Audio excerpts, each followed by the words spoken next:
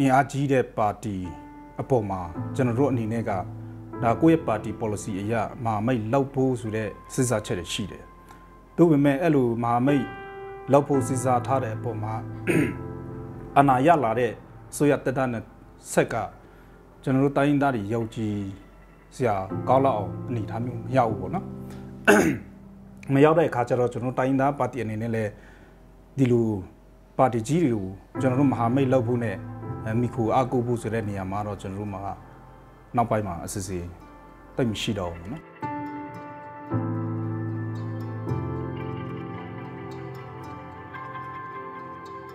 BBC မြန်မာဘက်ရဲ့2020ရွေးကောက်ပွဲအထူးအစီအစဉ်တွေနဲ့ပြည်내နဲ့တိုင်းဒေသကြီးတွေကိုလှည့်လည်သွားတာပြီးတော့ပါတီတွင်းကဒေသတွင်းကပါတီခေါင်းဆောင်တွေပါတီတာဝန်ရှိသူတွေပါတီကနေပြီးတော့ကိုစားပြုပြီးဝင်ရောက်ရှင်ပြိုင်မဲ့ကိုယ်စားလှယ်လောင်းတွေနဲ့ပါတီရဲ့ဂတိကိုဝကဘာတွေရှိမလဲဒီ2020ရွေးကောက်ပွဲကနေအနိုင်ရရင်ဒေသတွင်းမှာဘာတွေပြုပြင်ပြောင်းလဲပြီးဆောင်ရွက်ပေးသွားဖို့ရှိနေမလဲဒေသတွင်းကလူလူရဲ့လိုအပ်ချက်တွေကဘာတွေရှိနေလဲရွေးကောက်ပွဲဆိုင်ရာဆန္ဒမျှော်လင့်ချက်တွေကဘာတွေပါလဲဒါတွေကိုကျမတို့ဒါဒေသတွင်းကပါတီတာဝန်ရှိသူတွေကိုစားပြုရှင်ပြိုင်မဲ့သူတွေနဲ့နည်းနည်းချင်းဆိုင်တွေ့ဆုံပြီးတော့ဒါဆွေးနွေးဖလှယ်သွားကြမှာဖြစ်ပါတယ်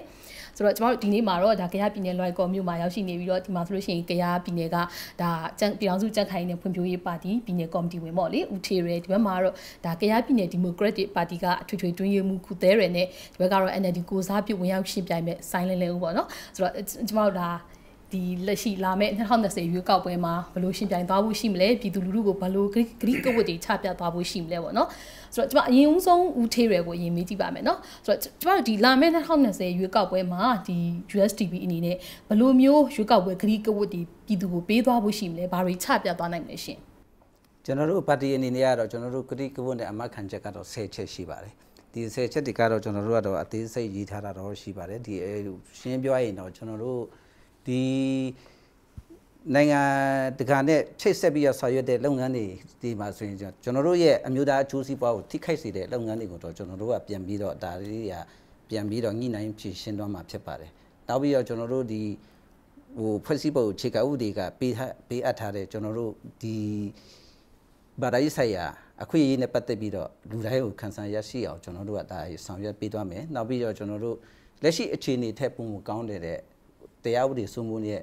စိုးမိုးရေးနဲ့ဒေတာတည်ငြိမ်အေးချမ်းရေးကိုကျွန်တော်တို့ဦးစားပေးဆောင်ရွက်သွားမှာဖြစ်ပါတယ်ဒေတာတည်တည်ငြိမ်အေးချမ်းရေးဆိုတဲ့နေရာမှာကျွန်တော်တို့ကငင်းချမ်းရေးကိစ္စနဲ့ပတ်သက်အများကြီးဟိုဆက်တရှိပါတယ်ဒါဒီကိစ္စတွေကလည်းကျွန်တော်တို့လွန်ခဲ့တဲ့အဲ2010 2015အတွင်းတော့ကကျွန်တော်တို့ဆောင်ရွက်ခဲ့တာအချက်လက်တွေကလည်းအများကြီးပါသွားပါတယ်ဒါတွေကလက်တွေ့ဆောင်ရွက်ထားပြီးတဲ့အခြေအနေအရကျွန်တော်တို့ NC ဆက်ထိုးနိုင်အောင်လို့ကျွန်တော်တို့ဆက်ဆက်လက်ဆွဲဆောင်သွားမယ့်အနေအထားမျိုးရှိပါတယ် နောက်ပြီးတော့ကျွန်တော်တို့ဒီကခရစ်ကု10ချက်တက်မှာတော့အတိကအဖြစ်ကျွန်တော်ပြောချင်တာကတော့ရှင်းပြရလေဓမားတွေအတွက်လှုပ်ထားတာ၃ချက်ရှိပါတယ်ဒီ၃ချက်တွေကတော့ရှင်းပြရကျွန်တော်တို့ထွက်ရှိတာတဲ့တီးနှံတွေပေါ့ထွက်ရှိတာတဲ့တီးနှံအပေါ်မှာရှင်းပြရင်ဈေးကွက်မရတဲ့ခါကျတော့တောင်သူလေဓမားတွေကဘလို့ပဲစိုက်ထားစိုက်ထားထွက်ရှိတာတဲ့တီးနှံအပေါ်မှာအမဈေးကွက်အမခံချက်မရှိတဲ့ခါကျတော့သူစိုက်တာစိုက်ရတယ်ဟိုတိတ်မသေးချတဲ့အရာမျိုးဖြစ်တဲ့ခါကျတော့ကျွန်တော်တို့ဒီဈေးကွက်ကိုလည်းကျွန်တော်တို့ချိတ်ဆက်ဆောင်ရွက်ပေးတော့မှာဖြစ်ပါတယ်နောက်ပြီးတော့သူစိုက်ထုတ် ကုန်ကျခဲ့တဲ့စရိတ်တီထဲလဲဒီထွက်လာမဲ့အရင်းကြီးကဒီထွက်လာသူစိုက်ထုတ်ထားတဲ့အရင်းကြီးထက်ပုံပုံတာလွန်တဲ့ဟိုပတ်စံကိုရအောင်ကျွန်တော်တို့ကဒီအတွက်ကိုဆောင်ရွက်ပေးမယ်နောက်ပြီးတော့လေဓမားတွေရဲ့အတွက်တောင်တူလဲလေဓမားကြီးရကိစ္စနဲ့ပတ်သက်ပြီးတော့ဒါကြီးကိုကျွန်တော်တို့အရေးတယူနဲ့ဟိုအလင်းအမြန်ဆောင်ရွက်ပေးနိုင်မဲ့အစီအစီအနေနဲ့ကျွန်တော်တို့ကဒီကျွန်တော်တို့ ပါတီအနေနဲ့အနိုင်ရရှိပြီးတော့အစိုးရဖွဲ့နိုင်ခဲ့မဲ့ဆိုရင်တောင်သူလယ်ဓမ္မရေးရဘူးကြီးဌာနတခုတော့ကျွန်တော်တို့ချက်ချင်းဖွဲ့စည်းဆောင်ရွက်သွားမှာဖြစ်ပါတယ်။နောက်ပြီးတော့ကျွန်တော်တို့ရဲ့ဟိုဒီတိုင်းသားတွေအားလုံးတောင်းဆိုနေကြတယ်ကျွန်တော်တို့ Federal Democracy ပြည်တော်စုစနစ်ဆိုတဲ့ဟာတွေကဒါတွေကအဓိကတော့ချက်ဖြစ်ပါတယ်။ဒီအဓိကတော့ချက်ဖြစ်တဲ့ကျွန်တော်တို့ပုံမှန်261ကိုတော့ကျွန်တော်တို့ကပြင်ဆင်သွားမှာဖြစ်ပါတယ်။ဒီပုံမှန်261ပြင်ဆင်ခြင်းအပြင်ကျွန်တော်တို့သမရကနေခန့်အပ်မဲ့တိုင်းဒေသကြီးနဲ့ပြည်နယ်မှုကြီးချုပ် ကိုခန့်မဲ့စားကျွန်တော်တို့တက်ဆိုင်ရာလွတ်တော်ကနေတင်မြောက်ပြီးတော့ရွေးချယ်တင်မြောက်တဲ့အဆင့်ကိုကျွန်တော်တို့ဆောင်ရွက်သွားမှာဖြစ်ပါတယ်။ဆိုတော့ဒီကရားပြည်နယ်ဒီမိုကရက်တစ်ပါတီအနေနဲ့ကတော့ဘလို့ရွေးကောက်ပွဲဆိုင်ရာဂရိကဝတ်မျိုးပြည်သူကိုချပြသွားဖို့ရှိမလဲရှင်ကုသရဲတို့အနေနဲ့ဟုတ်ကဲ့ပါကျွန်တော်တို့ကရားပြည်နယ်ဒီမိုကရက်တစ်ပါတီအနေနဲ့တော့အဓိကဂတိကဝတ်၅ချက်ရှိပါတယ်။အမေဒီ၅ချက်ကိုတော့ကျွန်တော်တိတ်ဆိတ်မပြောတော့ဘူးเนาะဆိုတော့ကျွန်တော်တို့ဒီအနိုင်ရရှိခဲ့မယ်ဆိုလို့ရှိရင်ကျွန်တော်ပြည်သူလူထုအတွက်အဓိကဘာလုပ်ပြီးဖို့ အာဂတိကူကူပါတွေချမှတ်ထားလဲဆိုလို့ရှိရင်ကျွန်တော်အဓိကခြေခါမှုဖြစ်တဲ့ Federal ပြည်ထောင်စုစနစ်ပပေါက်ရေးအတွက်ဟိုဒါအဓိကစိုက်ရမယ့်ကိစ္စတစ်ခုဖြစ်တယ်ဒုတိယတော့ဒါအမျိုးသားတတူရေးကိစ္စပေါ့နောက်ဆုံးတစ်ခုကတော့ကျွန်တော်တို့ကိုပိုင်ပြတ်ထခွေရရှိတဲ့ကိစ္စပေါ့နော်ဒါတွေကတော့မဖြစ်မနေကျွန်တော်တို့ရည်ရှိအနေနဲ့ဆောင်ရွက်ရမယ့်ကိစ္စတစ်ခုဖြစ်တယ်နောက်လက်တလောပြည်သူလူထုတွေကြုံတွေ့နေရတဲ့ပြဿနာတွေပြည်သူလူထုရဲ့အခက်အခဲတွေကိုလည်းကျွန်တော်ဖြေရှင်းနိုင်တဲ့နီလာဒါရည်ရည်တို့စီမံကိန်းပေါ့နော် ဒါတွေကဘာဖြစ်နိုင်မလဲဆိုလို့ရှိရင်ကျွန်တော်တို့ data မှာကြုံတွေ့နေရတဲ့မြေပြဿနာတွေနောက်တစ်ခုကဘာလဲဆိုလို့ရှိရင်ကျွန်တော်တို့ကြားပြည်နယ်မှာလည်းဒါရေရှားပါမှုပြဿနာတစ်ခုရှိတယ်ဆိုတော့ဒီဟာတွေကဒါကျွန်တော်တို့ရေတူအနေနဲ့အဲဖော်ဆောင်ပေးနိုင်တဲ့အနေအထားမျိုးတစ်ခုလည်းဒါကျွန်တော်တို့စဉ်းစားထားရရှိတာပေါ့နော်ဆိုတော့ခုနကျွန်တော်ပြောတဲ့မြေယာပြဿနာဆိုတဲ့နေရာမှာကဒါဥပဒေနဲ့တွားပြီးတော့မှလည်းဒါဆက်သက်ဆိုင်မှုရှိတယ်ဆိုတော့ဥပဒေအရကျွန်တော်တို့ဖြည့်ရှင်းနိုင်တဲ့လာကြောက်ရှိတယ်လို့ ဥပဒေဥပဒေပြပနေကျွန်တော်တို့ဖြည့်ရှင်းနိုင်တဲ့လာကြောက်တွေလည်းကျွန်တော်တို့ဘယ်လိုရှာဖွေရမလဲဆိုတဲ့ဟာမျိုးတွေပေါ့နော်ဆိုတော့ကျွန်တော်တို့ကတော့အဓိကပြည်သူလူထုနဲ့ချိတ်ဆက်ဆောင်ရွက်ပြီးတော့မှလူထုနဲ့ကျွန်တော်တို့ဒါရဲ့ပူပေါင်းဆောင်ရွက်နိုင်တဲ့နီးလာကိုလည်းကျွန်တော်တို့အဲဆောင်ရွက်ဖို့ဒါကျွန်တော်တို့အနေနဲ့စစ်စင်ထားတာရှိတာပေါ့နော်နောက်တစ်ခုကပါလဲဆိုရင်ကျွန်တော်တို့ဒီအဲကြရပြည်နယ်မှာရှိနေကြတဲ့တိုင်းသားလူမျိုးစုများအားလုံးတွေရဲ့ရည်ကြည်မှုဆိုင်ရာကိစ္စရတွေလည်းဒါကျွန်တော်အလေးထားပြီးတော့မှဆောင်ရွက်မယ်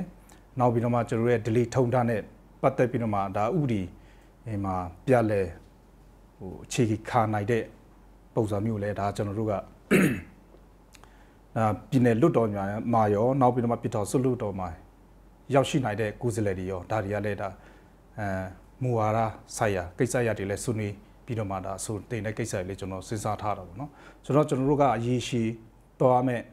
လာကြောင်းတစ်ခုရှိတယ်လို့ရည်သူတော်ရမယ့်လာကြောင်းတစ်ခုရှိနေတဲ့အတွက် ဒါလက်လက်တလောဖြစ်နေတဲ့ကိစ္စကိုကျွန်တော်တို့ဘယ်လိုဖြေရှင်းဖို့ဘယ်လိုတွားမလဲဆိုတော့အဲ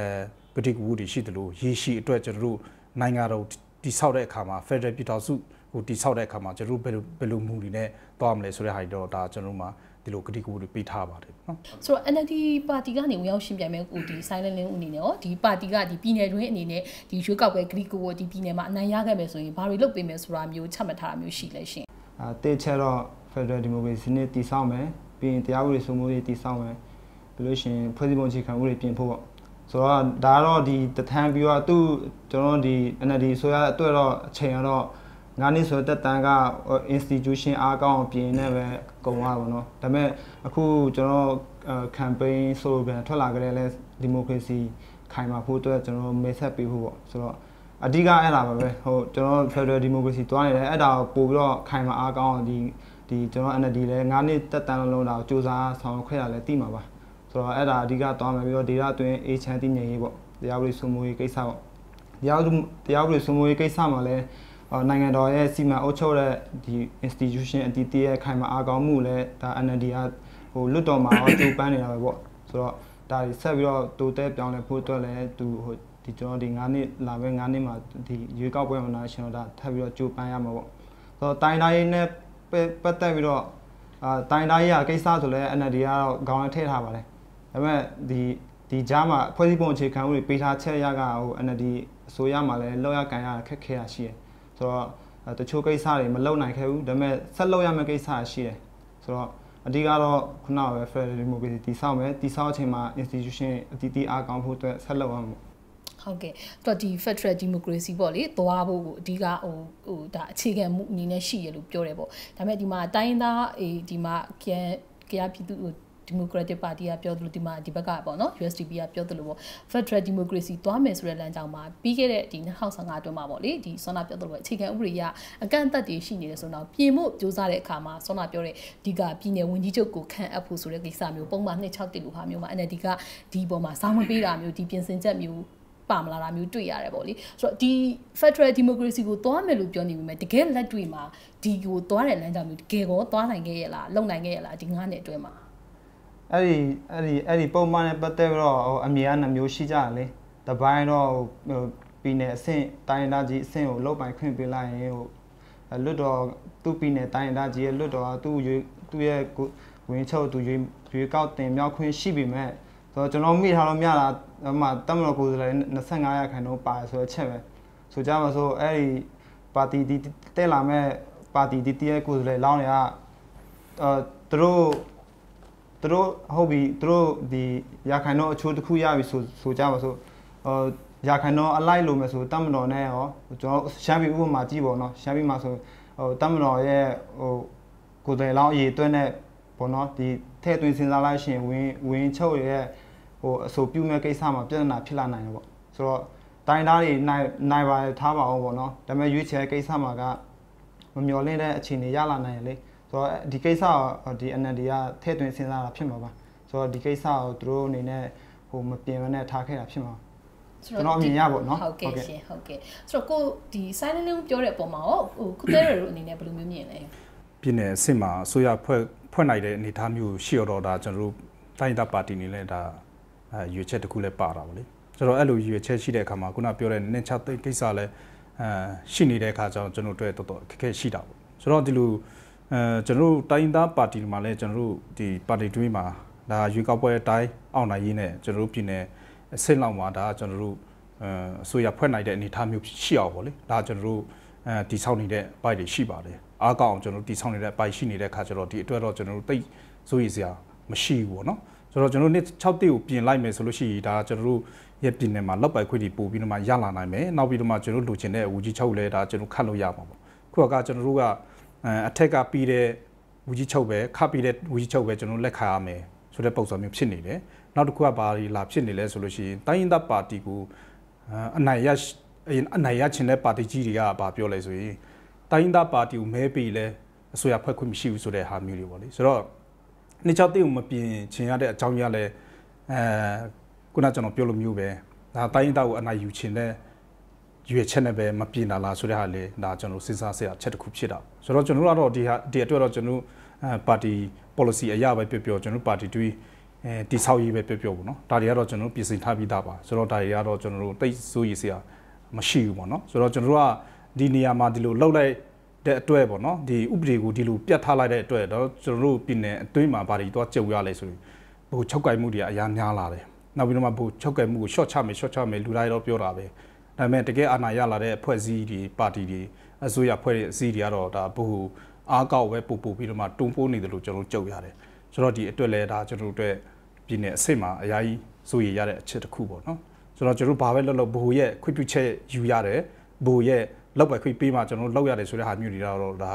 ကျွန်တော်တို့တွားချင်တဲ့ Federal ဆိုတဲ့ဟာနေနဲ့ပို့ပြီးတော့မှအလားဝေးစီတယ်လို့ကျွန်တော်အဲ့လိုရှုမြင်တာပေါ့လေဟုတ်ကဲ့ဆိုတော့ထေးရအနေနဲ့ရောဒီအမြင်ပေါ်မှာဝင်ပြီးမှတ်ချက်ပြုခြင်းတဲ့အမြင်မျိုးရှိမလားကျွန်တော်တို့ပါတီအနေနဲ့ကတော့ရှင်းပြရင်အရင်တော့ကလည်းတိုင်းသားအရေးကိုကျွန်တော်တို့ဦးစားပေးပြီးအောင်ဆောင်ရွက်တဲ့ပါတီတစ်ခုဖြစ်ပါတယ်ရှင်းပြရင်ကျွန်တော်တို့ပါတီအနေနဲ့ကဟို ပါတီရဲ့နာမည်ကိုကပြည်တော်စုကြက်ခိုင်နဲ့ဖွံ့ဖြိုးရေးပါတီလို့ဆိုပြည်တော်စုဆိုတာပါပြီးသားပဲရှင်းပြရင်တချို့ရတော့ပြောပါတယ်ကျွန်တော်တို့ပါတီကဟိုစစ်တပ်ကအုပ်ထိန်ထားတဲ့ပါတီလို့အမိတက်ခံရပါတယ်အဲဒီလိုအမိတက်ခံရတယ်ဆိုတာအရင်တော့ကတော့အသင်းဘွားတစ်ပါးတော့ဖြစ်ကောင်းဖြစ်လိမ့်မယ်ဒါပေမဲ့ဒီအချိန်မှာတော့ကျွန်တော်တို့ပြည်내နေ့တိုင်းမှာဖွဲ့စည်းထားတဲ့ဒေတာကော်မတီ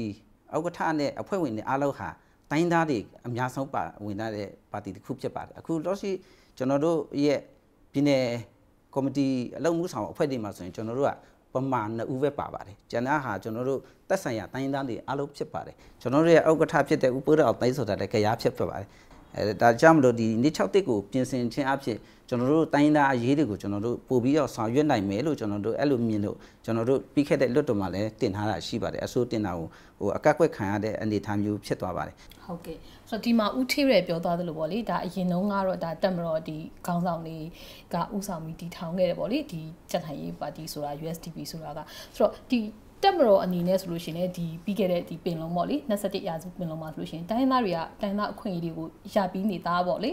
ပြောစရာတောင်းစရာမလိုဘူးဆိုတာမျိုးပြောတော့တာမျိုးရှိရယ်ဆိုတော့လက်ရှိပြီးခဲ့တဲ့ရက်ပိုင်းအတွင်းမှာလည်းဒါကြန့်ခိုင်ရေးပါတီကနေဥဆောင်ပြီးကျန်တဲ့ပါတီတွေနဲ့ပေါ့လေဟိုဟိုဒီတက်ချုံနဲ့လည်းတွေ့ဆုံတာမျိုးတွေရှိခဲ့တယ်ဆိုတော့ဒီကြက်ခိုင်ရေးပါတီရဲ့ဒီတက်မတော်လောင်းရဲ့အကတကယ်ပဲလွတ်ပြီလားတက်မတော်နဲ့ သဘောထားဒီတိုင်းသားတွေပေါ်ထားတဲ့သဘောထားနဲ့ဆိုတော့ USDP ကဒီ Federal ပေါ့လေဒီမိုကရေစီတိုင်းသားအရေးကိုဘယ်လောက်ထိတကယ်ဆောင်ရွက်နိုင်မယ်လို့မျှော်မှန်းထားလဲလက်ရှိကာလမှာနိုင်ငံတည်ဆောက်တဲ့နေရာမှာတော့ရှင်းပြရင်တော့တက်မတော်ကတော့ဖယ်ထားလို့တော့မရသေးဘူးမရသေးဘူးဆိုတော့ကျွန်တော်တို့ရဲ့နိုင်ငံမှာတိုင်းတန်လက်နက်ကင်ပေါင်းစုံရှိနေတဲ့နိုင်ငံတစ်ခုဖြစ်တဲ့အတွက်ကြောင့်မလို့ကျွန်တော်တို့ဒါလေးကဒီတိုင်းသားတွေအားလုံးသဘောတူညီမှု ခုနကျွန်တော်တို့ပြောတဲ့ဒီ21ရာစုပြည်လုံးညီလာခံတို့ဘာတို့တို့တို့ NCA ကိစ္စတို့ဆောင်ရွက်နေတဲ့ကိစ္စတွေအားလုံးဖြစ်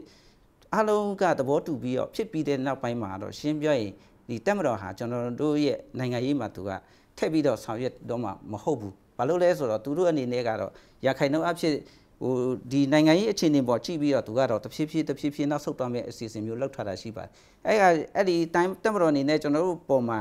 ပါတီမော်မှာတကယ်လည်းများလောက်ရိပ်များလွတ်ပြီလားလို့မေးတဲ့မေးခွန်းကိုဖြေရမယ်ဆိုရင်ကျွန်တော်တို့ပြောရမယ်ဆိုရင်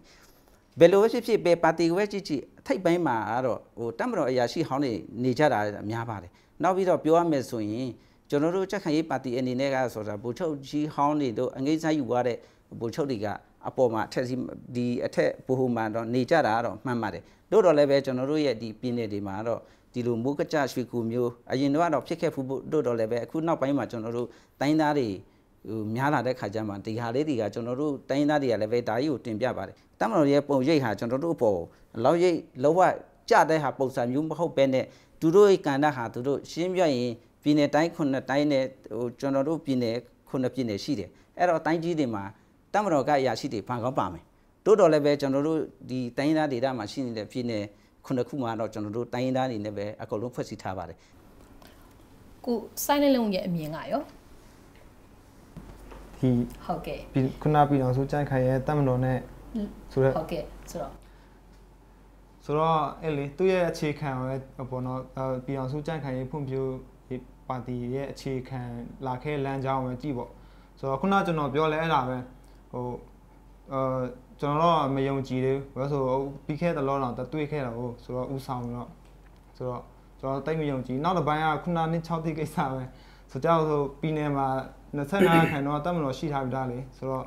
အဲပြောင်းကြံခံရေးဖွံ့ဖြိုးရေးပါတီနဲ့တိတ်ကြိုးစားစရာမလိုတကယ်တမ်းဟိုကိုယ်တိုင်လောင်းဒီဝင်းချုပ်ခန့်မေးဆိုပေါ့နော်ဆိုတော့ကျွန်တော်စိုးရင်ချက်အဲ့ဒီအဲ့ဒီအချက်ပါပဲ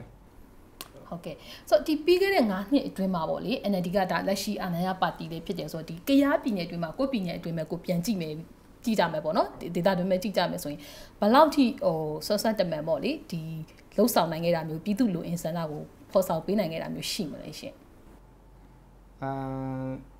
ဒီဖွံ့ဖြိုးရုပ်ပိုင်းဆိုင်ရာဖွံ့ဖြိုးရေးကိစ္စတော့ဟိုသူ့ဟာနဲ့သူသူ့စီစဉ်နဲ့သူ budget နဲ့လိုက်တော့တွားကြတာပဲပေါ့နော်ဟိုကြရပြီးအဲ့ဒီကိစ္စတော့အထူးတလဲတော့ကျွန်တော်မပြောဒါပေမဲ့ ဒီစိတ်ပိုင်းဆိုင်ရာကိစ္စတော့ဟိုဒီမမျော်လင့်တဲ့ဒီပိုချုပ်ကြေးကိစ္စလိုမျိုးလည်းရှိရှိကောင်းရှိလိမ့်မယ်ဒါပေမဲ့တေချာတော့ဟိုပြည်သူတွေဒီအစိုးရကိုကြောက်စရာတစ်ခုလို့မမြင်တော့အဲ့တခုကတော့ဟိုစိတ်ပိုင်းဆိုင်ရာဖွံ့ဖြိုးတိုးတက်မှုပဲလို့ကျွန်တော်မြင်တယ်ဗျဟုတ်ကဲ့ဆိုတော့အစိုးရတရက်အနေနဲ့အာဏာရနေတဲ့အချိန်မှာပေါ့လေလှုပ်ဆောင်နိုင်စွမ်းရဲ့အပြည့်ကိုဒါဘယ်လောက်ထိလုံနိုင်တယ်လို့ရောဟိုမှာခုခုတဲ့ရရအနေနဲ့မြင်လဲကျွန်တော်တို့တိုင်းသားပါတီအနေနဲ့က ဟိုပါတီကြီးဖြစ်တဲ့ NLD နောက်ပြီးတော့မှကြက်ခိုင်ဖွံ့ဖြိုးရေးပါတီပေါ့နော်အဲအဲ့လိုပြည်တော်စုတစ်ခုလုံးကိုလွှားချုပ်ပြီးတော့မှအဲ့လိုအင်အားကြီးတဲ့ပါတီအပေါ်မှာကျွန်တော်တို့အနေနဲ့ကဒါကိုယ့်ရဲ့ပါတီ policy အရမဟာမိတ်လောက်ဖို့ဆိုတဲ့စဉ်းစားချက်တွေရှိတယ်။ဒါပေမဲ့အဲ့လိုမဟာမိတ်လောက်ဖို့စဉ်းစားထားတဲ့အပေါ်မှာအနာရလာတဲ့ဆိုရတက်တဲ့ဆက်က ကျွန်တော်တို့တိုင်းသားတွေယုံကြည်စရာကောင်းလောက်အောင်အနေထားမျိုးမရဘူးပေါ့နော်။မရောက်တဲ့အခါကျတော့ကျွန်တော်တိုင်းသားပါတီအနေနဲ့လည်းဒီလိုပါတီကြီးတွေကိုကျွန်တော်တို့မဟာမိတ်လောက်ဖို့နဲ့မိခိုအကူဖို့ဆိုတဲ့နေရာမှာတော့ကျွန်တော်တို့မှာနောက်ပိုင်းမှာအစစ်စစ်တိတ်မရှိတော့ဘူးเนาะဆိုတော့ကျွန်တော်တို့ကလည်းဒါကအဲကိုပြည်နယ်မှာကိုပိုင်ပြတ်ထခွေရရှိရေးဆိုတဲ့ကျွန်တော်တို့ရဲ့အခြေခံမှုတွေကလည်းရှိနေတဲ့အခါကျတော့ ဒါနောက်ပိုင်းကျလို့ရှိတော့ကိုပြည်နယ်နဲ့ကိုတိုင်းရင်သားပါတီတွေကပဲမဟာမိတ်လောက်ပြီးတော့မှကျွန်တော်တို့ပြည်ထောင်စုစနစ်ကိုဘယ်လိုတိဆောက်မလဲ Federal ပြည်ထောင်စုစနစ်ကိုဘယ်လိုတွားကြမလဲအခြေခံမှုနဲ့ပတ်သက်တာကိုကျွန်တော်တို့ဘယ်လိုရေးဆွဲကြမလဲဆိုတဲ့ဟာမျိုးပဲပို့ပြီးတော့မှဦးစားပေးလာတဲ့အနေအထားမျိုးဖြစ်လာတယ်ဆိုတော့ကျွန်တော်တို့ကဒီကြက်ခရေးနဲ့ NLD အပေါ်မှာဘာဖြစ်လို့ဒီလိုဖြစ်သွားလဲဆိုလို့ရှိရင်ဟိုကြက်ခရေးပါတီကတော့ဒါခုနပြောနေကြတဲ့အတိုင်းပဲပေါ့နော်တစ်ချိန်တစ်ခါတော့ကဒါစစ်တပ်ရဲ့လောက်ရဲအောက်ကနေထွက်လာတဲ့ ပါတီတစ်ခုဖြစ်တယ် NLD ကလည်းဒါတစ်ဖက်ကလူထုတွေရဲ့ထောက်ခံမှုကနေတက်လာတဲ့အစိုးရတရားဖြစ်တယ်ဒါပေမဲ့အာဏာရလာတဲ့အခါမှာဘိုလ်ချုပ်ကင်မှုတွေကရှော့ချနိုင်တဲ့အနေအထားမျိုးမရှိဘဲနဲ့ကိုပို့ပြီးတော့မှအားကောက်အောင်ပြလဲတိဆောက်နေတဲ့အနေအထားမျိုးလဲကျွန်တော်တွေ့ရတယ်။နောက်ပြီးတော့မှကျွန်တော်တိုင်းရင်းသားတွေရဲ့အထေကရကိစ္စရတွေတမိုင်းအမှရည်ကြည်မှုတွေကိုလည်းဒါပို့ပြီးတော့မှထွန်းကားအောင်အားမပေးတဲ့အပြင်ပေါ့နော်။ ဒါတွေကလည်းလစ်လူရှုထားတဲ့အနေအထားမျိုးလဲဒါကျွန်တော်တိုင်းရင်းသားတွေကကြုံတွေ့နေရတဲ့အခါကျတော့ဒီနေရာမှာကိုယ့်အကူလုံမရတော့မယ်ပေါ့နော်။ အင်အားရှိတဲ့လူကိုကျွန်တော်တို့တွားမိခိုလို့မရောက်ဆိုတဲ့အနေထားမျိုးရောက်သွားတာပေါ့ဆိုတော့ကျွန်တော်တို့ကလည်းအဲဒီအပေါ်မှာလည်းအများကြီးတတရားဖြစ်เสียအကြောင်းရှိပါတယ်ဆိုတော့စက်ခရီးလဲစက်ခရီး policy အရာတူတူတွားနေတဲ့လာကြောင်းတစ်ခုရှိတယ် NLD ကလည်းတူ policy နဲ့တူတွားနေတဲ့လာကြောင်းတစ်ခုရှိတယ် ဒါပေမဲ့ဒီနှစ်ခုရဲ့အကြားမှာကျွန်တော်တိုင်းရင်းသားကစေစားဆရာတစ်ခုကပါလဲဆိုလို့ရှိရင်တနစ်နေ့တစ်ချက်ချိန်ကြားလို့ရှိရင်ကျွန်တော်တို့ကမဟာမိတ်လောက်ဖို့ပါတီကြီးတွေနဲ့စဉ်းစားရမယ်ဆိုလို့ရှိတော့ဒါကျွန်တော်တို့ဒီမိုကရက်တစ်ဆာတဲ့ပါတီကိုပဲကျွန်တော်တို့မဟာမိတ်လောက်ရမယ်ဆိုတော့ဟာမျိုးတွေလည်းဒါကျွန်တော်တို့စီမှာရှိတာပေါ့လေဆိုတော့ဘယ်ပါတီဆိုတာတော့ကျွန်တော်မပြောတော့ဘူးပေါ့နော်ဆိုတော့ဒီမိုကရက်တစ်ဆာတဲ့ဒီမိုကရေစီကိုပို့ပြီးတော့မှအားပြုနိုင်တဲ့ပါတီကြီးကိုပဲကျွန်တော်တို့မဟာမိတ်လောက်မှရမယ် သူ့မဲ့လည်းဒီချိန်မှာကျွန်တော်တို့တိုင်းရင်းသားအချစ်ချစ်ကြားမှာပဲပို့ပြီးတော့မှအားကောက်ကိုကျွန်တော်တို့တည်ဆောက်မှရမယ်ဆိုတဲ့ဟာမျိုးတွေဖြစ်လာတာပေါ့နော်လက်ရှိကြရမှာကျမတို့အခုဒေတာကန်လူလူတွေပေါ့လေကျမတို့လိုက်မေးကြည့်တဲ့အခါမှာလဲကျမတို့လက်ရှိတွေ့ရတာမြေယာပြဿနာတွေအဓိကအများဆုံးဖြစ်တယ်ပေါ့လေဖြစ်တဲ့အခါမှာလဲတက်မတော်နဲ့ဖြစ်တဲ့အပိုင်းတွေများတယ်တရားဆွဲခံရတာတွေထောင်ချခံရတာတွေအထိရှိရဆိုတော့ဒီဦးသေးရတို့အနေနဲ့လာမယ့်2020မှာတကယ်လို့အနိုင်ရခဲ့မယ်ဆိုရင်ပဲဖြစ် နိုင်ရခဲ့မယ်ဆိုရင်ပေါ့လေဆိုတော့ဒီဒီတက်မတော်ကဖြစ်နေတဲ့ပြဿနာမျိုးတွေမှာဒေသခံလူထုဘက်ကနေပြီးတော့အာတောင်းဆိုပေးဖို့ရှိမလားဒီမြေယာကိစ္စတွေမှာဘလို့ရက်တီဖြည့်ရှင်းသွားဖို့တွေများစဉ်းစားထားတာမျိုးရှိမလဲရှင်ကျွန်တော်တို့ကတက်မတော်လူခုချိန်မှာတော့တက်မတော်ရဲ့လောင်ကျိတ်အောက်မှာတော့ဟိုခုနပြောတဲ့တိုင်းဒေသကြီးပါတီမှာတော့ရှိကောင်းရှိမယ်ဒါပေမဲ့ပြည်နယ်ပါတီတွေမှာတော့ကျွန်တော်တို့ကမရှိအောင်ကျွန်တော်တို့ဖန်တီးထားပါတယ်အဲဒါကြောင့်မလို့ကျွန်တော်တို့ကတော့ဟိုတက်မတော်နဲ့ကတော့ကျွန်တော်တို့ကရှင်းပြောရရင်နိုင်ငံတော်တည်ဆောက်မယ် အစိုးရဖွဲ့မယ်ဆိုရင်တက်မတော်ဟာကိုယ့်ရဲ့လက်ရုံးအဖြစ်ထားမယ်နေအနေထားမျိုးရှိပါတယ်အဲ့တော့တက်မတော်နဲ့ကျွန်တော်တို့ကတဟဆန္ဒမဖြစ်ဘူးဆိုရင်ကျွန်တော်တို့ဘာမှလုပ်လို့မရကျွန်တော်တို့ခုနဖြစ်ခဲ့တဲ့မြေယာပြဿနာမျိုးဆိုတာလည်းပဲဒါကျွန်တော်တို့ဟိုတခြားအပြင်ကနေကျွန်တော်တို့ဆောင်ရွက်မှာထက်ကျွန်တော်တို့ကနေဆောင်ရွက်တယ်ဆိုရင်ရှင်းပြောရင်ကျွန်တော်တို့ကသူသူတို့ကိုပြောနိုင်ဆိုနိုင်တဲ့အားရှိတယ်တမန်တော်နဲ့ညှိနှိုင်းပေးနိုင်တဲ့အားကျွန်တော်တို့မှာအပြည့်ရှိပါတယ်အဲ့ဒါကြောင့်မလို့ကျွန်တော်တို့က ဒီပါတီကြီးအနေနဲ့ဒီဖွံ့ဖြိုးရေးဟိုကြက်ခိုင်နဲ့ဖွံ့ဖြိုးရေးပါတီမှာဒီဟာတွေကမလုံနိုင်ဘူးလားဟိုဘာကြောင့်မလုံနိုင်တယ်လဲဆိုမိခင်ဒီကိစ္စလေးတွေကတကယ်တော့အဆွေရဖြစ်ခဲ့မယ်ဆိုတော့ဒါကျွန်တော်တို့စွန်းစွန်းတမန်လောက်သွားမယ်အနေထားရှိပါတယ်ဆိုတော့စိုင်းလင်းလင်းမှုတို့အနေနဲ့ရောဒါလက်ရှိ NLD ကအာဏာရပါတီလည်းဖြစ်နေဒီမြေယာကိစ္စတွေအဓိကမဖြစ်ရှင်းနိုင်တာကတက်နဲ့မပူပေါင်းနိုင်လို့လားဒီဦးထေရရဲ့ပြောဆိုချက်ပေါ်မှာဘယ်လိုမြင်လဲ NLD အနေနဲ့ဘယ်လို ရက်တီဖြည့်ရှင်းမှုရှိမလဲဖြည့်ရှင်းနိုင်ခဲ့တာရောရှိလားအဲဦးထွေးရဲ့ဆိုရဆိုရင်တော့ဟုတ်ပြီဒါဆိုပြည်တော်စုကြိုက်ခိုင်ရဟိုတဖန်အာနာရလို့ရှင်တက်မတော်နဲ့ပေါင်းတော့အရာရာဖြည့်ရှင်းနိုင်ရမယ်ဖြည့်ရှင်းသွားနိုင်မဲ့သဘောဖြစ်နေတယ်ပေါ့နော်မြေသိမ်းတဲ့ကိစ္စတွေဟုတ်ဆိုတော့ကျွန်တော် DNA လက်ထက်မှာကျွန်တော်အမြင်ပေါ့နော်ကြည့်လိုက်တာတစ်ဖက်ကဥပဒေပေးထားချက်ရှိတယ်ဆိုတော့ဟိုဒီဟို2012လက်ရမြေဥပဒေရှိတယ်ပြီးတော့ဟိုမြေသိမ်းဥပဒေရှိတယ်ဒါပေမဲ့ တစ်ဖက်ကဟိုဥပဒေအားနည်းချက်တွေလည်းရှိတယ်ဟုတ်မြေသိမ်းဥပဒေမှာဆိုလည်းရှိတယ်တစ်ဖက်ကဟိုဟိုတစ်ဖက်ကဒီရင်းနှီးမြှုပ်နှံသူတွေအတွက်ဟိုကျွန်တော်ဒီဆိုရကဟိုအခွင့်အလမ်းအနေနဲ့ဟိုဖန်တီးပေးခြင်းလို့ဒီဥပဒေလောက်လိုက်မယ်တစ်ဖက်ကလည်းတိုင်းသားတွေဒါဖက်မှာတော်တော်လေးထိခိုက်နေတာလည်းအပိုင်းလည်းရှိတယ်ဆိုတော့ဥပဒေရဲ့အားနည်းချက်နဲ့ခုနတက်မတော်ရဲ့ခေါင်းမာမှုပေါ့အဲအဲ့နှစ်ခုနဲ့ပေါင်းလိုက်လို့တချို့ကိစ္စဆိုဖြေရှင်းရခက်ခဲတဲ့ အနေအထားရှိတယ်ဒီတိုင်းသားပိုင်းဆိုအတိဆုံးပဲသူတို့ဆိုရင်ဒီကိစ္စနဲ့လည်းတထဲဝင်တည်ရဆိုတော့ဆိုတော့90 90ပဲကျွန်တော်ထင်တာပေါ့နော်တစ်ဖက်လည်းဟိုပြန်ပေးလို့ရတဲ့ဟာလည်းဟိုဖြည့်ရှင်းပေးလို့ရတာလည်းအခုတောင်လူလေတဲ့ထဲလည်းတော်တော်များပြန်ပေးပြန်ပေးခဲ့ပြီးပါပြီ။ကြာပြည်နယ်ရဲ့အတိုင်းတာရဆိုရင်လုံးဝဖြည့်ရှင်းလို့မရတဲ့တပ်မတော်ဖက်ကအတင်းဟိုသဘောထားမပြော့ပြောင်းကိစ္စတွေကတော့ခက်ခဲနေတော့ပေါ့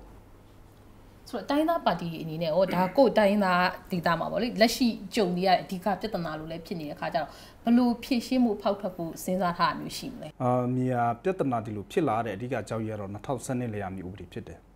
ကျွန်တော်တိုင်းသားဒေတာအတီးတီးမှာဘာတွေရှိနေလဲဆိုရင်ဒလိထုတ်သားမြေယာစီမခတ်ခွဲမှုကသူ့ရိုးရာနဲ့တူရှိပြီးသားဆိုတော့2012လေယာမြေဥပဒေပေါ်ပေါက်လာပြီးတဲ့အခါကျမှပဲကျွန်တော်ညီကိုချင်းရဖြစ်ရတဲ့ပြဿနာတွေရှိလာတယ် အမျိုးချင်းပြဿနာဖြစ်တဲ့ပြဿနာဖြစ်လာတယ်နောက်ဆုံးပြောရရင်အာနာရှိတဲ့လူတွေကမြေကိုချိန်မရွေးနေချင်းညချင်းပုံစံခုလောက်ပြီးတော့မှဒလိထုံနှမ်းမြေယာတွေကိုရယူသွားတဲ့ပြဿနာအများရှိတယ်ဆိုတော့ပထမတရားခါက2012လေယာမျိုးဥပဒေပါပဲတိုင်းရင်းသားပါတီအနေနဲ့ဒီမြေယာပြဿနာမျိုးဖြေရှင်းနိုင်ဖို့ဆိုတဲ့နေရာမှာမြေပြိုပဲတွားပြီးလက်ညှိုးလက်ညှိုးထိုးဖို့ထက်ဥပဒေကိုကျွန်တော်တို့ဘယ်လိုပြပြင်ဆင်ပြီးတော့မှ ကျွန်တော်တို့တိုင်းရင်းသားတွေအတွက်အကာအကွယ်ဖြစ်တဲ့နေရာဥတီတစ်ခုပေါက်ထွက်ဖို့အတွက်ကျွန်တော်ဘယ်လိုလုပ်ရမလဲဆိုတော့အချက်ကအဓိကကြဖြစ်တယ်ဆိုတော့ကျွန်တော်2015မှာကျွန်တော်တိုင်းသားပါတီလည်းဝေရောက်ရှစ်ပြိုက်ကြတယ်ဒါတွေကတော့ကျွန်တော်မျော်လင့်ချက်တော့ကြီးကြီးမရှိပါဘူးကျွန်တော်ကျွန်တော်ဘာဖြစ်နေလဲဆိုလို့ရှိရင်ကျွန်တော်တို့တိုင်းသားပါတီရဲ့ကြိုတင်ပြင်ဆင်မှုကလည်းအားနည်းနေတယ်လို့နောက်ပြီးတော့မှအာဏာရပါတီကိုအလဲထိုးနိုင်တဲ့ပါတီကလည်းလိုအပ်တယ်ဆိုတာကျွန်တော်နားလေတယ် အဲ့ဒါကြောင့်ကျွန်တော်တို့2015မှာကျွန်တော်တို့တိုင်းသားပါတီတွေကလူထုကြမှာစင်းရုံရေးဒါဆင်းတယ်ကျွန်တော်တိုင်းသားပါတီမဲပေးပါတကယ်လို့ကျွန်တော်တို့တိုင်းသားပါတီအာမကောင်းဘူးအားကိုးစရာလောက်တဲ့အနေအထားမျိုးမရှိသေးဘူးလို့လူထုတွေမြင် NND ဝဲမဲပေးပါလို့ကျွန်တော်တို့အဲ့လိုစီးရုပ်လာခဲ့တယ်။ဒါတော့ကျွန်တော်တို့အဓိကရွေချက်ပါလဲဆိုရင်ကျွန်တော်တို့တိုင်းသားအရေးနဲ့ပတ်သက်ပြီးတော့မှဒါ အနာရထားတဲ့အစိုးရလက်ထက်မှာကျွန်တော်ကြုံခဲ့ရတဲ့အဖြစ်ဖြစ်တဲ့အများရှိပြီဆိုတော့နောက်အစိုးရတစ်ခုတက်လာရင်အများကြီးပို့ပြီးတော့မှအာကိုးနိုင်လောက်တဲ့အနေအထားမျိုးနောက်ပြီးတော့မှကျွန်တော်တိုင်းသားအရေးနဲ့ပတ်သက်ပြီးတော့မှပူဦးစားပေးနိုင်တဲ့အနေအထားမျိုးဖြစ်နိုင်တယ်ဆိုပြီးတော့မှကျွန်တော်တို့က NLD ကိုယုံကြည်ပြီးတော့မှဝိုင်းဝန်းပတ်ဖို့ခဲ့တာပေါ့နော်ဆိုတော့အခုပဲကြည့်လိုက်ကျွန်တော်တို့ခုလက်ရှိ2020ရွေးကောက်ပွဲဝီပြန်မဲ့ကိုယ်စားလှယ်လောင်းတွေတော်တော်များများက2015မှာ NLD ရဲ့ကပိုက်မန်နေဂျာတွေရပဲ ဆိုတော့ကျွန်တော်တို့က NLD ကိုအဲ့လိုဝင့်ညာပေးခဲ့ပြီးတော့မှ NLD လည်းတကယ်အစိုးရဖြစ်လာခဲ့တယ်ဆိုတော့ကျွန်တော်တို့မျှော်လင့်ထားတဲ့ကိစ္စတခုခုနကျွန်တော်တို့ပြောနေတဲ့မြေယာပေါ့နော်ဆိုတော့အဲ့ဒီမြေယာနဲ့ပတ်သက်ပြီးတော့မှ2012 sorry 2012လေမြေဥပဒေကိုတစုံတရာအပြောင်းလဲလောက်ပြီးနိုင်မလားဆိုတဲ့စဉ်းစားချက်ကမျော်လင့်တကြီးနဲ့ကျွန်တော်စောင့်နေတာပေါ့နော်ဒါပေမဲ့ကျွန်တော်မျော်လင့်ထားတဲ့အတိုင်းမဖြစ်လာပါဘူး။ဘာဖြစ်တော့ပြလဲဆိုရင်2022ကိုပြည်နာထက် 2018မှာမြေလွတ်မြေလမြေရိုက်ဥပဒေဆိုပြီးတော့မှအဓိကနိုင်ငံတကာရဲ့ရင်းနှီးမြှုပ်နှံမှုကိုဖိတ်ခေါ်နိုင်တဲ့အနေအထားမျိုးဖာတိလာတဲ့အခါမှာဒါတစ်ဖက်ကနိုင်ငံတကာရင်းနှီးမြှုပ်နှံမှုအတွက်ကိုစဉ်းစားတယ်ဆိုပေမဲ့လည်းတစ်ဖက်ကကျွန်တော်တို့တိုင်းသားဒေသမှာဒီပြဿနာလာဖြစ်နေပါတယ်ဆိုတော့မြေလွတ်မြေလမြေရိုက်ဥပဒေဆိုတဲ့ကိစ္စတွေက2012ထက်ပိုပြီးတော့မှဆိုးဆိုးရွားပါတယ်ဆိုတော့ဒါတွေကလည်းကျွန်တော်တို့စိတ်ခေါ်မှုတရားဖြစ်လာပြပါတယ်ဆိုတော့ကျွန်တော်တို့တိုင်းရင်းသားတွေက တိုင်းသားပါတီအနေနဲ့ကဒီမြေယာပြဿနာတွေကိုကျွန်တော်တို့ဘယ်လိုဖြေရှင်းရမလဲလို့မင်းလာလို့ရှိတော့အဓိကတရားခါကိုကျွန်တော်တို့ရှာပြီးတော့မှအဲ့ဒီတရားခါကိုကျွန်တော်တို့ဘယ်လိုကြိုက်တွေ့မလဲဆိုတဲ့စဉ်းစားချက်ပဲကျွန်တော်တို့ပြောနိုင်ပါတယ်။တို့ပေမဲ့ခုနစောပိုက်ကလေးကကျွန်တော်ပြောတယ်ရေရှိစီမကိန်းနဲ့ရေတိုစီမကိန်းဆိုတဲ့စဉ်းစားချက်တစ်ခုပေါ့လေ။ဆိုတော့ကျွန်တော်တို့ကလက်တလောဒီလိုဖြစ်ပေါ်နေတဲ့ကိစ္စတွေကိုကျွန်တော်တို့ဘယ်လိုဖြေရှင်းမလဲ ပြည်သူလူထုနဲ့ပူးပေါင်းပြီးဘယ်လိုဖြေရှင်းမလဲနောက်ပြီးတော့မှနောက်ဆက်တွဲဖြစ်ပေါ်နိုင်တဲ့အနေအထားမျိုးလဲကျွန်တော်တို့ဘယ်လိုကြိုတင်ကာကွယ်ရမလဲဥပဒေအကြောင်းအရာဖြစ်ဖြစ် policy အရာဖြစ်ဖြစ်ကျွန်တော်တို့ကာကွယ်လို့ရရမရဘူးဆိုလို့ရှိရင်ကျွန်တော်တို့ဥပဒေပြပနေကျွန်တော်တို့ကာကွယ်နိုင်တဲ့အနေအထားမျိုးတစ်ခုတော့ကျွန်တော်စဉ်းစားဖို့လိုတယ်ပေါ့ဆိုတော့ဒါတွေကဘာဖြစ်နိုင်တယ်လဲဆိုလို့ရှိတော့ဒါကဥမာညူချက်ချက်တွေလဲရှိတာပဲပေါ့နော်ဆိုတော့နိုင်ငံတော်တမရာပဲဖြစ်ဖြစ်ဖြစ်နေဝူကြီးချုပ်ပဲဖြစ်ဖြစ် ဒီလိုအမိတ်ညူချက်ချက်တွေကလည်းဒါလောက်ပိုက်ခွင့်ရှိတဲ့အခါကျတော့တကယ်လို့လူထုကိုထိခိုက်နိနာမှုဖြစ်စေတဲ့အရာရာအရာတစ်ခုခုပေါ့နော်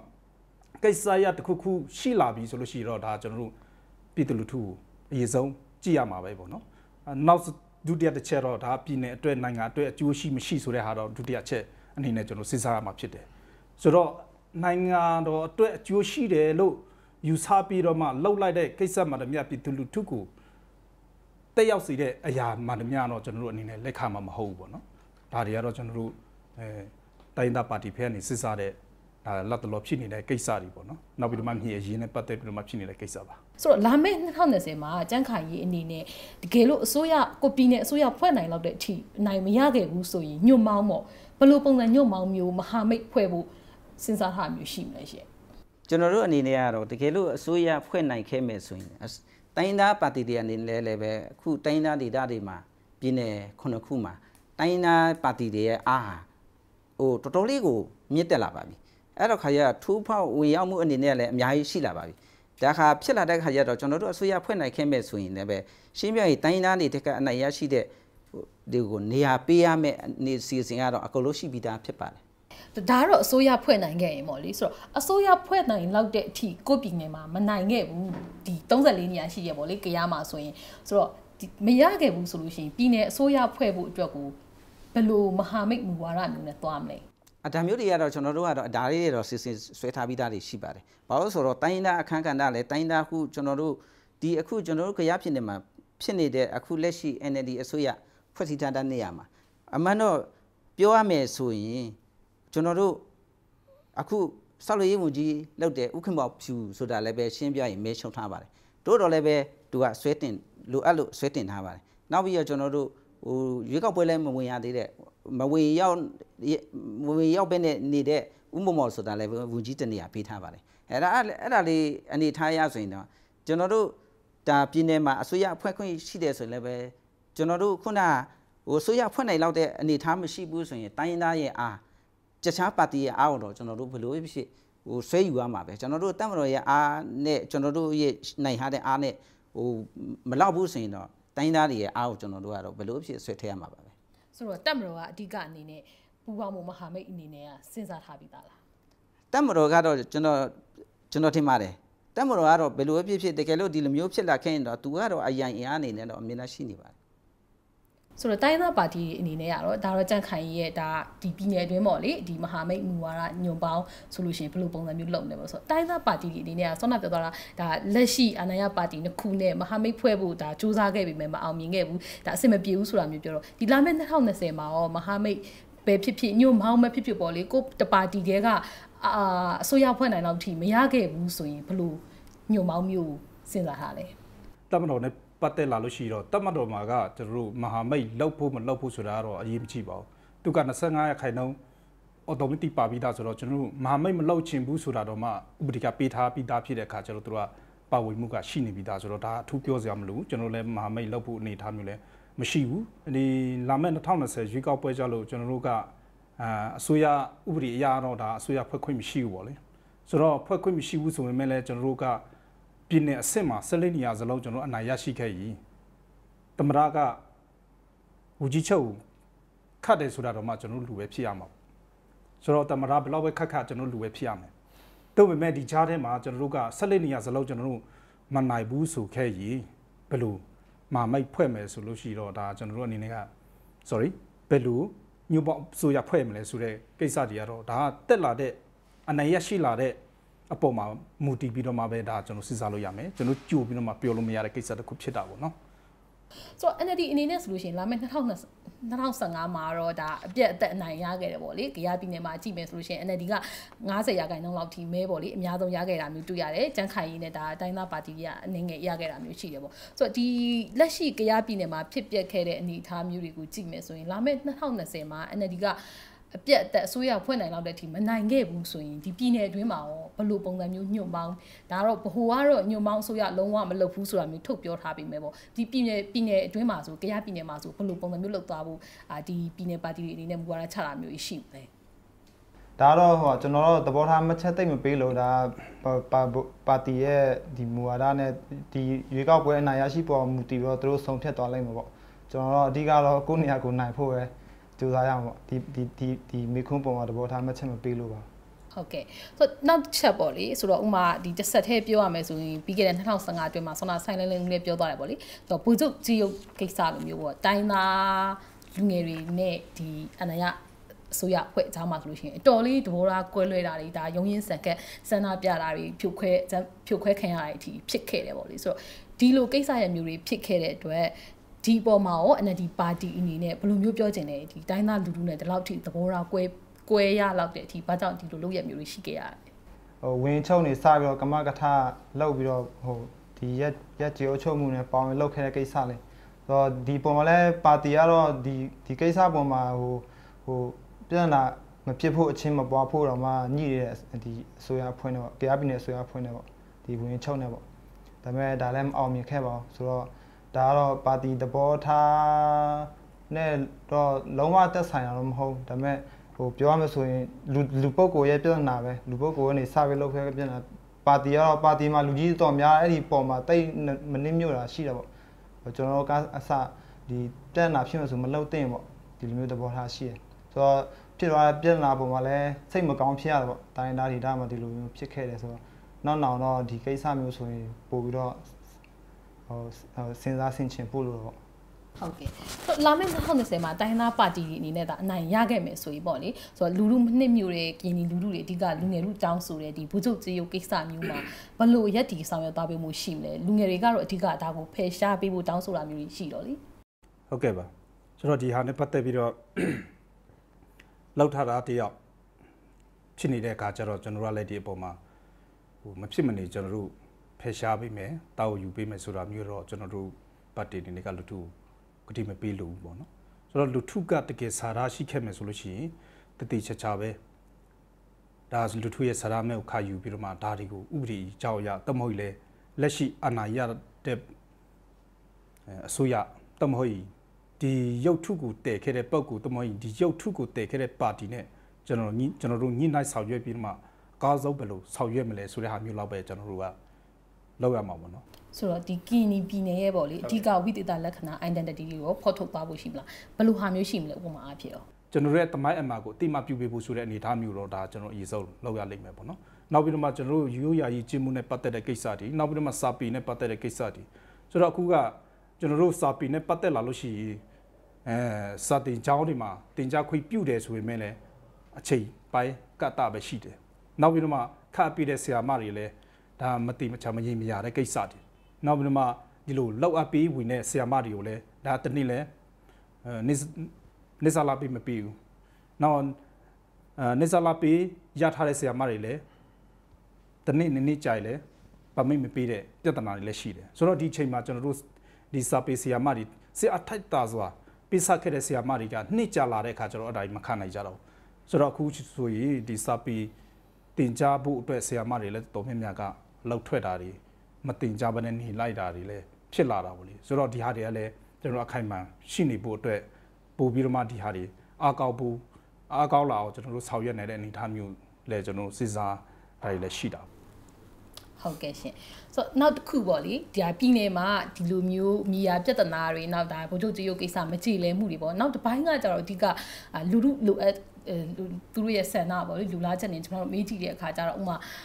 လောက်ပြီးတာရေကလျှက်စစ်လို့ပေါ့လေတနိုင်ငံလုံးကိုအဓိကအလင်းပေးနေဒါပေမဲ့ဒီကရပြည်နယ်တွေမှာဆိုရင်ဒါတရားရိုင်လုံးအပြည့်မိမရသေးတာချို့နယ်ဒီမှာဆိုလို့ရှိရင်မီးလင်းရေးပေါ့လေအပြည့်ဝမလုံနိုင်သေးတာနမဆက်သွယ်ကြီးကောင်းလာတယ်ဆိုမဲ့လည်းနယ်ဘက်ဒီမှာဆိုလို့ရှိရင်လိုအပ်ချက်ဒီအများကြီးရှိနေသေးတယ်ပေါ့လေမီးမရသေးတာတွေဒီ internet ကိစ္စတွေပေါ့လေအပြည့်ဝမရနိုင်သေးတာတွေရှိတယ်ဆိုတော့ NLD အနေနဲ့ရောဟိုဘာဘလို့လိုအပ်ချက်တွေရှိနေသေးလဲဘာတွေဆက်လုပ်ဖို့လိုအပ်နေသေးရလို့မြင်လဲအဲဒါကနိုင်ငံတနိုင်ငံရဲ့ ဆဲချမ်းသာမှုပေါ်မှုတည်လေဒီဖွံ့ဖြိုးရေးကိစ္စကဖွံ့ဖြိုးရေးကိစ္စတော့သူနှစ်လိုက်နဲ့သူသွားပါတယ်ဒါပေမဲ့ဒီအဲကျွန်တော်လက်ရှိတွေ့ရမှာ NLD ဆိုရတက်လာတဲ့နောက်ပိုင်းမှာတော့ဖွံ့ဖြိုးရေးကိစ္စတော့တော်တော်လေးအားစိုက်လုပ်ဖြစ်တာလဲဟိုမြေပြင်မှာတွေ့မှာပါဆိုတော့လက်စစ်မီပိုင်းကလည်းဟိုတိုင်းနေဟိုပြည်နယ်ပေါ့နော်ပြည်နယ်ပေါ့ပြည်နယ်ခုနှစ်ပြည်နယ်ကြီးလိုက်မယ်ဆိုရင်တရားပြည်နယ်တော့ဟိုအထိုက်တင်လောက်တော့ရခိုင်တော့အလျောက်ရတဲ့လက်စစ်မီလွမ်းချုံနိုင်ဘူးပေါ့နော် ဆိုတော့အဲ့ဒါလဲအဲ့ဒါလဲတိတ်တော့ပြောစရာမရှိပေါ့ဒါကတော့နေ့လိုက်သွားရမယ့်ကိစ္စတွေပဲလေဆိုတော့ဒါမဲ့အဓိကတိတာချက်ကတော့ NLD ဆိုရဒီဖွံ့ဖြိုးရေးကိစ္စကတော့အာသွန်ခွန်စားရေးလောက်ခဲ့တာပဲပေါ့ ဟုတ်ကဲ့ဆိုတစ်ချက်ပေါ့လေဒီတယံဇာတခွဲဝေမှုအပိုင်းပေါ့ဒီလော်ပီတာရလျက်စစ်အပါဝင်ပေါ့ဒါမှမော်ချီတထုတွင်းလို့ပေါ့ပြည်နယ်ကထွက်တဲ့တယံဇာတတွေများစွာရှိပေမဲ့ပြည်အောင်စုအစိုးရအဖွဲ့ကပဲဗဟိုကနေပြီးတော့ချုပ်ကင်ထားတာမျိုးပေါ့လေဆိုတော့ပြည်နယ်ကဒေသခံတွေအနေနဲ့လိုချင်တာပြည်နယ်ကစီမံခန့်ခွဲတဲ့အဲဒီပြည်နယ်ကပို့ပြီးခန်းစားခွင့်ရတာမျိုးလိုချင်တဲ့ပေါ့လေဆိုတော့ NLD အစိုးရ NLD အနေနဲ့နောက်တစ်ချိန်အနိုင်ရခဲ့မယ်ဆို2030မှာဒီတယံဇာတခွဲဝေမှုတွေကိုပြည်နယ်ကပို့ပြီးတော့အာလုတ်ပိုင်ခွင့်ရှိဖို့အတွက်အမခံချက်ပေးနိုင်မှာမလား ဒါဖွဲ့စည်းပုံအခြေခံပေါ့အချုပ်ချုံလောကအချုပ်ဆိုရမယ်ဆိုဖွဲ့စည်းပုံအခြေခံဥပဒေပေးထားချက်ရပါလေဒိုလက်ရှိဖြစ်နေတဲ့တန်သာရခွဲမှုပြဿနာလဲဒီဖွဲ့စည်းပုံအခြေခံဥပဒေအရကျွန်တော်ပေးထားတလောက်ပဲရတာကိုဆိုတော့ခုနဘယ်လိုအမှခံချက်ပေးနိုင်ဖွဲ့စည်းပုံအခြေခံဥပဒေရဲ့ဖြေလျှော့မှုတွေကနေပြုပြင်ပြောင်းလဲပြီးတော့ဒီတန်သာခွဲမှုကပြည်နယ်ပြည်နယ်မှာရတရားထားရဟာလဲအခု NLD ဆိုရမှာလဲဟိုရတလောက်လောက်နေတာပဲပေါ့နော် ဒါပေမဲ့တကယ်အကြီးစားတော့ဒီဖွဲ့စည်းပုံအခြေခံဥတွေပဲဒါဟိုပေးထားချက်ပဲဖြစ်နေတော့ဒီပုံမှာတော့ဒီနောက်တိတ်လာမဲ့အစိုးရပေါ့နော်ဘယ်အစိုးရဖြစ်မလို့တော့မသိပေါ့ဒီပုံပြုပြင်ပြောင်းလဲမှပဲဒီကိစ္စတွေကဖြေရှင်းနိုင်မှာပါဆိုတော့ဒီကရပြည်နယ်ဒီမိုကရက်တစ်ပါတီအနေနဲ့ပေါ့အဓိကဒီတယံဇာတ်ခွဲမှုအပိုင်းကိုဘယ်လောက်ထိလှုပ်ဆောင်သွားဖို့ပြည်သူအမှန်ကန်ချက်ပေးနိုင်တာမျိုးရှိမလဲကျွန်တော်တို့ကတော့ပြောပြောနေတဲ့ Federal ပြည်ထောင်စုပေါ့နော်ဆိုတော့ Federal ပြည်ထောင်စုစနစ်တစ်ခုပေါ်ပေါက်မယ်ဆိုလို့ရှိတော့ဒီကိစ္စတွေအကုန် စစ်ပြေးသွားမှာပါဆိုတော့ဒီဒီလိုတရားစတာနဲ့ပတ်သက်လာလို့ရှိတော့ဒါ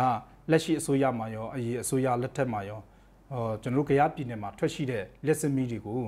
ဒီပြည်နယ်အစိုးရမှာပဲစီမခက်ခွဲပိုက်ခွေရှိလောက်တဲ့အနေအထားမျိုးဖြစ်အောင်ဆိုပြီးတော့မှဒါပြည်တော်စုလွတ်တော်မှာလည်းအစိုးတင်ခဲ့တဲ့ကိစ္စရတွေကျွန်တော်တို့ဘာတစ်ခုမှမတွေ့ဘူးပေါ့နော်ဆိုတော့ကျွန်တော်တို့ဒီဒီနေရာမှာကျွန်တော်တို့ဒီလိုတော့ကြုံနေတဲ့အခါမှာဘာကြောင့်ဖြစ်တာလဲလို့ကျွန်တော်စစ်စားတဲ့အခါကျတော့ ဒါတပတ်တီစနစ်ပုံစံမျိုးတော့ဖြစ်နေတယ်အရေးအစိုးရလည်းကြက်ခိုင်ရေးတပါတီတဲ့ပဲပြည်ထောင်စုအစိုးရပြည်နယ်အစိုးရမှာလည်းအလုံးသူတို့ကအစိုးရပဲလက်ရှိအစိုးရလည်းပြည်ထောင်စုလည်း NLD ပဲပြည်နယ်လည်း NLD ပဲဖြစ်နေတဲ့အခါကျတော့တချို့ဟာတွေကပါတီရဲ့လွှမ်းမိုးမှုတွေကအများကြီးတယ်နောက်ပြီးတော့ဗဟိုရဲ့ချုပ်ကွယ်မှုလည်းအများကြီးနေတဲ့အခါကျတော့တချို့တော့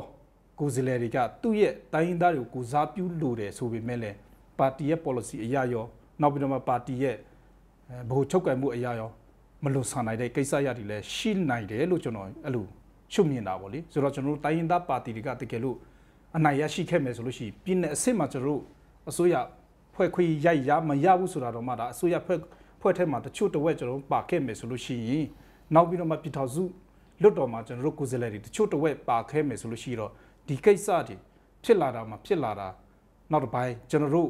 ဒီဟာဒီနဲ့ပတ်သက်ပြီးတော့မှ ဆောင်ရွက်ပေးဖို့အတွက်ကျွန်တော်တို့မဖြစ်မနေအဆိုတင်တာပဲဖြစ်ဖြစ်မေကူမေးတာပဲဖြစ်ဖြစ်ဒါကျွန်တော်တို့လောက်ဖို့ဆိုတဲ့ကိစ္စတွေကတော့ကျွန်တော်တို့ပါတီမှာဒါသဘောထားကြပြီးသားကိစ္စတစ်ခုဖြစ်တယ်ကျွန်တော်ဘယ်လောက်ထိအောင်မြင်မယ်ဆိုတာတော့ကျွန်တော်ပြောလို့မရဘူးမဖြစ်မနေကျွန်တော်လောက်ယူရမယ့်ကိစ္စဖြစ်တဲ့အတွက်ဒါတွေကတော့ကျွန်တော်တို့အနေနဲ့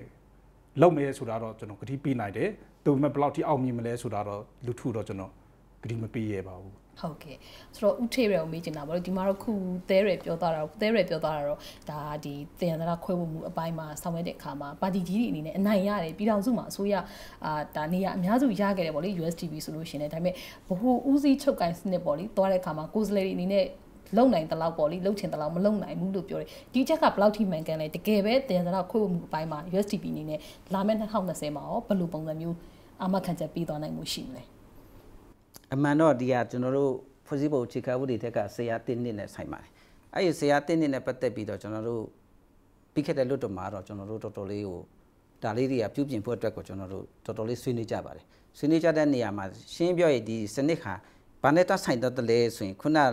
ကကျွန်တော်တို့နှစ်6တစ်ကိုပြင်လိုက်တယ်ဆိုတာနဲ့ဒါလေးတွေကတစ်ဖြည်းတစ်ခုချင်းလိုက်ပြီးတော့ပြင်လို့ရတဲ့အနေအထားမျိုးဖြစ်သွားမှာဖြစ်ပါတယ်အဲ့တော့ကျွန်တော်တို့ကတော့ဖြစ်စေချင်တာကတော့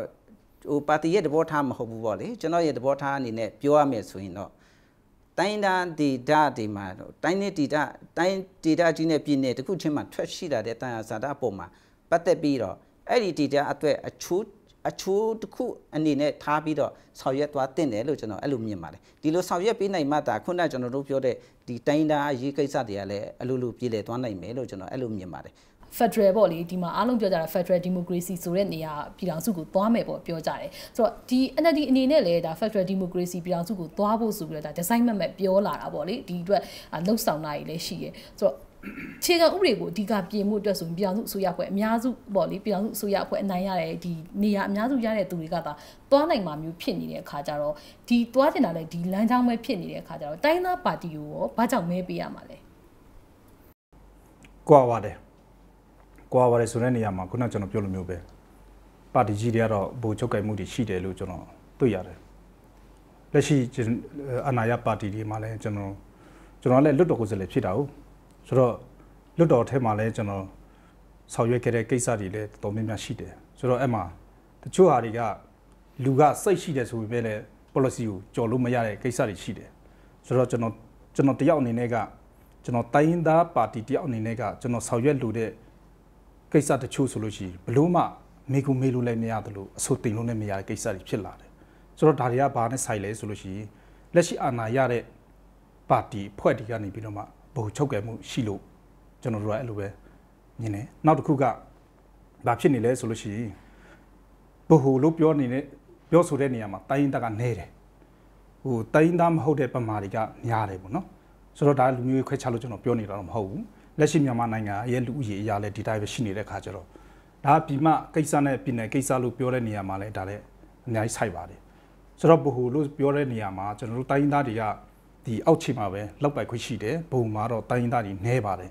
အဲ့လိုဖြစ်နေတဲ့အခါကျတော့တိုင်းရင်းသားတွေအတွက်တိုင်းရင်းသားတွေကခါစားတိုတိုင်းသားတွေကပဲခါစားတာတယ်တိုင်းသားတွေကပဲတိတယ်ဆိုတော့ကျွန်တော်တို့တိုင်းရင်းသားတာဒီလိုမဲပေး ခဲ့မယ်ကျွန်တော်တို့အစိုးရဖြစ်လာခဲ့မယ်ဆိုလို့ရှိရင်ကျွန်တော်ရဲ့ဘို့ချုပ်ကဲမှုဆိုတာလက်ရှိအနာရထားတဲ့ပါတီကြီးတွေလို့မရှိဘူးဆိုတာကျွန်တော်ပြောရဲပါတယ်ကျွန်တော်ကျွန်တော်ရဲ့ဘို့ကဒီမှာပဲရှိတယ်ဘယ်နေရာမှမရှိတဲ့အတွက်ပေါ့နော်ဆိုတော့ကျွန်တော်ပို့ပြီးတော့မှလွတ်လွတ်လပ်လပ်ပြောဆိုလို့ရတယ်ဒါတတကားတွေအများရှိပါတယ်ဒါပေမဲ့ဒီမှာပြောလို့တော့မရဘူးပေါ့နော်ဆိုတော့တနကားတွေအများရှိပါတယ်ဘုံချုပ်ကဲမှုကဘလောက်ကြီးတယ်လဲဆိုတဲ့ဟာမျိုးလည်းအများကြီးကျွန်တော်ကြုံခဲ့တယ်ဒါတွေကကျွန်တော်တိုင်းသား ကိုယ်စားလှယ်တယောက်ဖြစ်တယ်ဆိုပေမဲ့လည်းတခြားသောအင်အားကြီးတဲ့ပါတီတွေနဲ့ပူးပေါင်းဆောင်ရွက်ရတဲ့အခါမှာအဲ့ဒါကြီးပြဿနာလာဖြစ်နေတယ်ဆိုတာကျွန်တော်ကိုယ်တိုင်ကကြုံကြုံရတဲ့ပြဿနာတစ်ခုဖြစ်တာ ဟုတ်ကဲ့ဆိုတော့ဒါကတော့မူဝါဒဘိုင်းကြီးအခြေခံဥပဒေပြင်ဆင်ရေးပေါ့လေဒါပေမဲ့တစ်ဖက်မှာပြန်တွေးကြည့်လိုက်လို့ရှိရင်လူလူလက်ရှိပေါ့လေလာမယ့်2020ရွေးကောက်ပွဲမှာအာဒီအခြေခံလူလူဒီဒေသခံတွေကိုမိတဲ့အခါမှာသူတို့လိုချင်တာလက်တွေ့မြင်ရတဲ့အပြောင်းလဲမျိုးပေါ့ဆိုတော့မူဝါဒဘိုင်းကြီးပြောနေတာတဲ့လက်တွေ့မြင်တာတဲ့အပြောင်းလဲမျိုးကို2020မှာဆိုရင်ဘာလုပ်ပြီးနိုင်မလဲလူလူလိုချင်တဲ့ဟာကိုဘယ်ကိစ္စကအဓိကအခြေခံပြဿနာလို့မြင်လဲဆိုင်နေနေဦးဆိုရင်အဓိကနိုင်ငံရဲ့ဟိုပါနိုင်ငံရဲ့စီးပွားရေးပေါ့ ဘာလို့ဆိုမြန်မာနိုင်ငံရဲ့ဟိုဟာအများစုကလူချမ်းသာနေလေအခြေခံလူဒန်းစားတွေများတယ်အဲအဲအခြေခံလူဒန်းစားမှာလည်းဒီအဓိကကလေယာသမားတွေပဲပေါ့နော်ဆိုတော့ကျွန်တော်ပြည်နယ်မှာလည်းဟိုတောင်လူတွေအများစုပါပဲတို့ရဲ့အခြေခံပြဿနာတို့ရဲ့ဝင်ငွေတိုးတက်မှုကိုဖြည့်ရှင်းနိုင်မှာပဲပေါ့အဓိကကဒီဒီဒီကိစ္စကိုဖြည့်ရှင်းနိုင်မှာပဲတခြားသွားချင်တဲ့ကြီးကြီးလေးပေါ့ကျွန်တော်အကြီးကြီးလို့ဆိုအသေးစိတ်ကစားဂယူစားရတော့ဆိုတော့ ဒီဒီပြဿနာတော့ဒီလာမယ့်တက်တန်လာမယ့်အစိုးရတက်တန်မှာအဓိကရင်ဆိုင်ရမယ့်ပြဿနာပဲပေါ့ဆိုတော့ဒီကာလမှာကိုဗစ်လည်းဖြစ်တယ်ဆိုတော့လူတွေကပိုပြီးစီးပွားရေးကျက်တဲလာပြီလေဆိုတော့ဒီကိစ္စကတော့အဓိကဖြစ်ရှင်းရမှာနောက်ဘာလို့ NLD မဲပေးဖို့လိုရလဲဆိုတဲ့ဟာပေါ့ဘာလို့မဲပေးလို့ကျွန်တော် NLD ဒီဒီဒီနိုင်ငံရေးပြုပြင်ပြောင်းလဲမှုစနစ်ကိုဒီဇိုင်းမဲ့မဲ့တွန်းလှန်တော်လှန်ခဲ့တဲ့ဟိုပါတီလေးဆိုတော့ တူတက်တန်လဲဟိုတောက်လျှောက်ရအဲ့ဒီတွဲနေပဲပါတီကောင်းဆောင်ရလဲတောက်လျှောက်ရအဲ့ဒီတွဲနေပဲသူတို့ယင်းနှမြုပ်နှံထားကြတာဆိုတော့အခုလက်ရှိရနာရလဲ9နှစ်ပဲရှိရပေါ့နောက်ပြီးဘာလို့တိုင်းသားဒေတာမှာထပ်နိုင်ဖို့လိုလေးလဲဆိုဟိုတပိုင်းနှစ်ပိုင်းခွဲပြောပေါ့ပြည်အောင်စုအဆင့်ပေါ့ပြည်အောင်စုကိုယ်စားလှယ်ပေါ့အမျိုးသားနဲ့ပြည်သူကတော့ NLD အနေနဲ့အဓိကနိုင်ဖို့လိုလေးပြည်နယ်ကတော့သဘောထားမှချက်သိမ့်မပေးလို့တိုင်းသားပါတီလည်းသူတို့အထိုက်လျောက်တို့နေရာရတဲ့ပေါ့ ဆိုတော့အဲအကြောင်းမလို့ဖွဲ့စည်းပုံအခြေခံဥပဒေပေးထားချက်က NLD ဒီနိုင်မရမှာပါအစိုးရဖွဲ့မှာပဲသူထပ်ပြီးတော့ပြုပြင်ပြောင်းလဲမဲ့ကိစ္စတွေ Federal Democracy စနစ်ပေါ်ဆောင်မဲ့ကိစ္စသူထပ်လုပ်ရမှာအဲအတွက်ကြောင့်မဲထပ်ပေးတင်ဟုတ်ကဲ့ဆိုတော့ဒါပေါ့လေဆောနာပြောသလိုပေါ့လက်ရှိလူလူလိုအပ်ချက်ပေါ့လေကိုပြည်နယ်အတွင်းမှာဆိုလို့ရှိရင်မျက်မြင်မြင်ရတဲ့အပြောင်းလဲပေါ့လေ2020မှာသာအနိုင်ရခဲ့မယ်ဆိုရင်ဘယ်လိုဟာကိုပြောင်းလဲပေးမလဲဘာလုပ်ဖို့ရှိမလဲချက်ချင်းအနေနဲ့ဆိုရင်